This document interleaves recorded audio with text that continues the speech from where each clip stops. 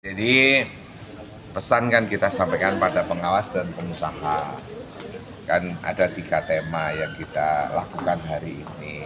Yang pertama berkaitan dengan uh, fungsi pembinaan dan pengawasan terhadap uh, pekerja migran. Kemudian yang kedua pencegahan pekerja anak dan yang terakhir itu reproduksi. Mengapa ini menjadi sangat penting?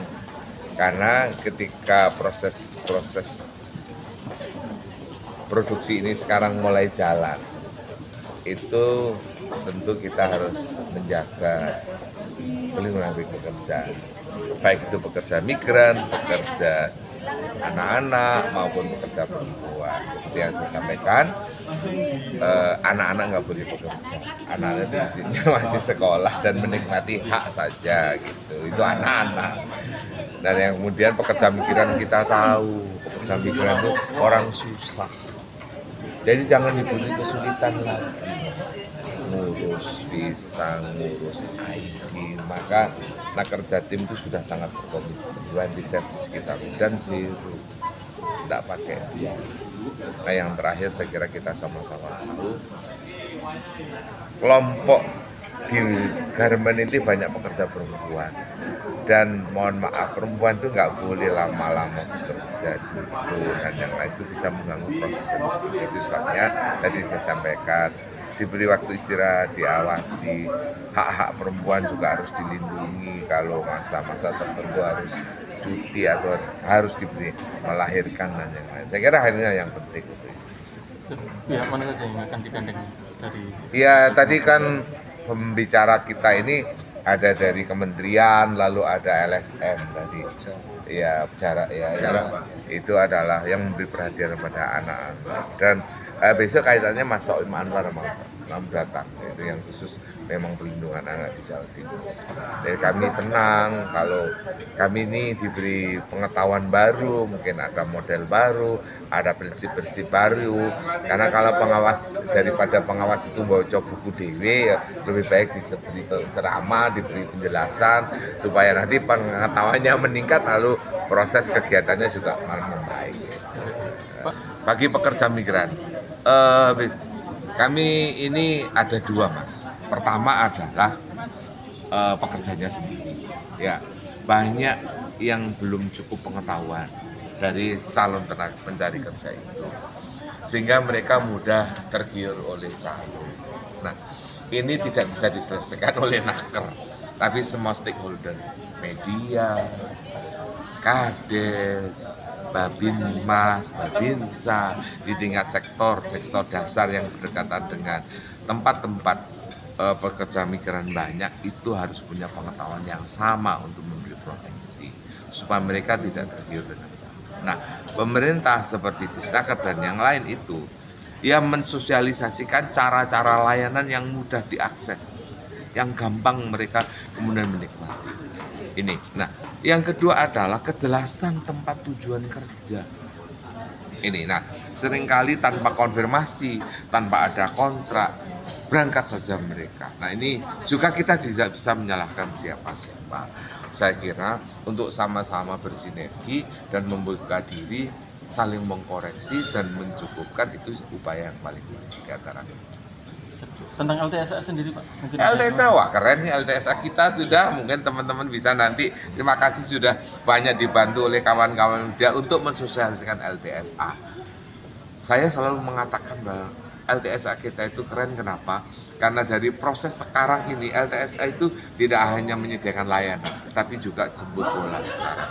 Kita sudah punya mobil layanan yang bagus yang ke mana saja bisa. Di setiap job fair LTSA itu saya buka untuk memberi pengetahuan banyak bahwa kita bisa memberi layanan dan LTSK kita sudah mendapat ranking sudah semua semua penghargaan yang terbaik yang yang pernah ada di Republik untuk layanan publik kita sudah menikmati. Terima kasih ya. Baru pertama kali ya. Jawa Timur saja yang seperti ini. Terima kasih ya. Semuanya akan dikasih semuanya. Ya, saya hormati para pengawas ketenaga kerjaan Jawa Timur. Apa tagline-nya apa pengawas? Pak, apa tagline-nya pengawas apa? Salam 351. Oh, itu artinya apa itu? Undang-undang Ah, oh, nas gitu. Satu. Ah, tepuk tangan. Ya, saya hormati semua yang hadir, para pengusaha garment. Ah, kelihatannya banyak ibu-ibu ya pengusaha garment. Majority ya.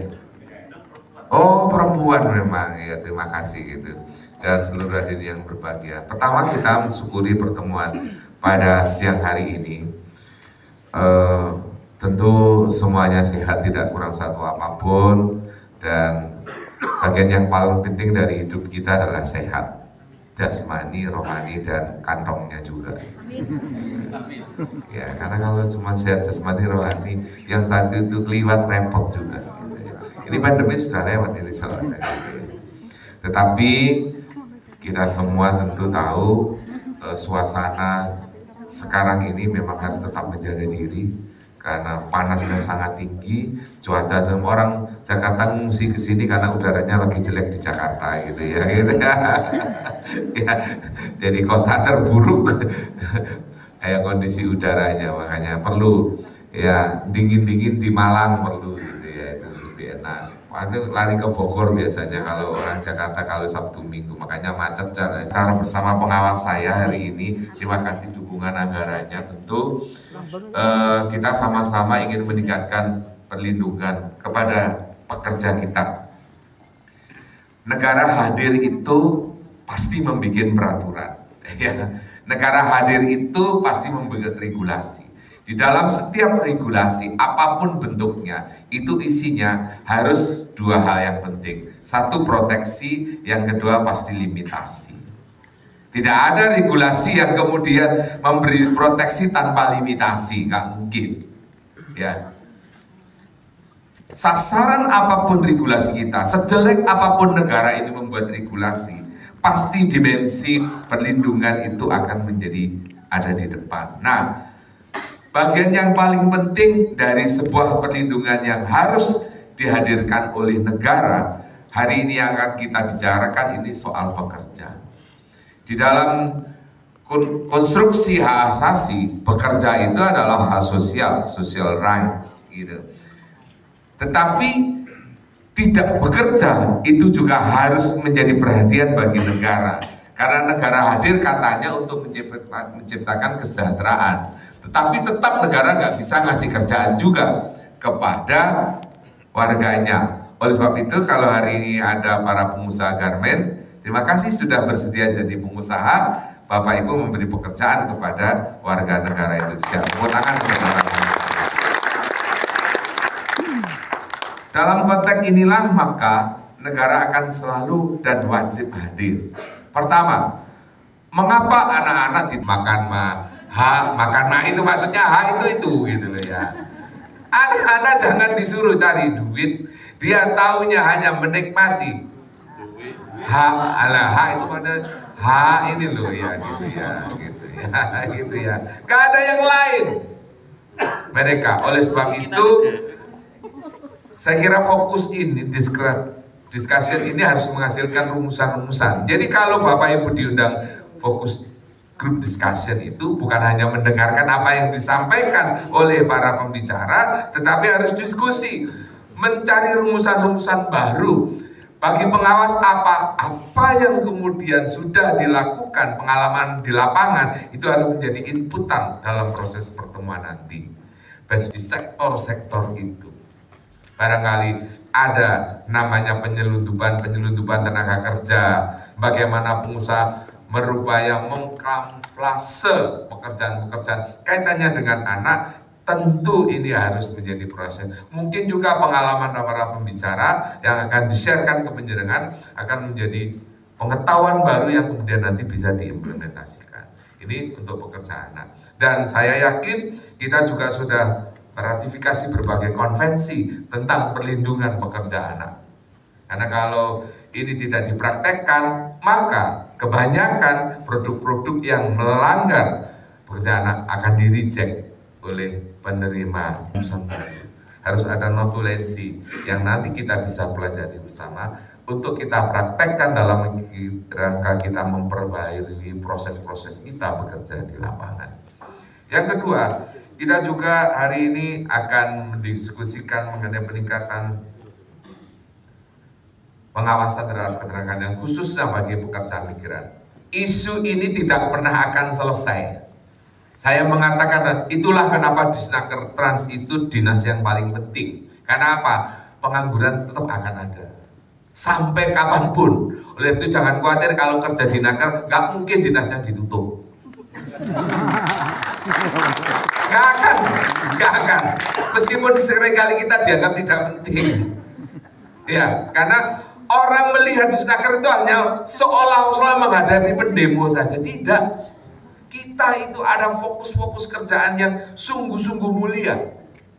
Bagaimana kita memfasilitasi proses pengawasan tenaga kerja migran. Betapa pentingnya mereka mendapatkan perlindungan.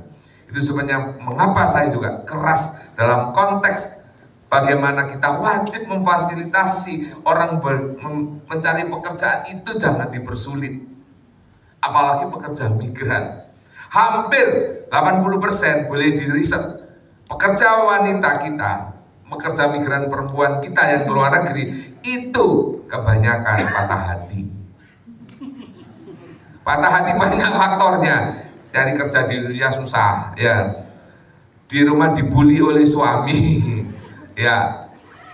Iya Pak Nah iya tuh banyak pak ini ya faktor termasuk pembuli yang ada di sini gitu ya. Jadi faktornya banyak. Oleh itu mengapa Disnaker Provinsi juga menyediakan satu proses perlindungan dengan mengawal mereka bekerja dengan baik dan Provinsi tadi adalah satu-satunya dinas yang sudah pernah menyediakan anggaran gratis pendidikan untuk PMI ke luar negeri. Provinsi lain belum, Jatim sudah dan tahun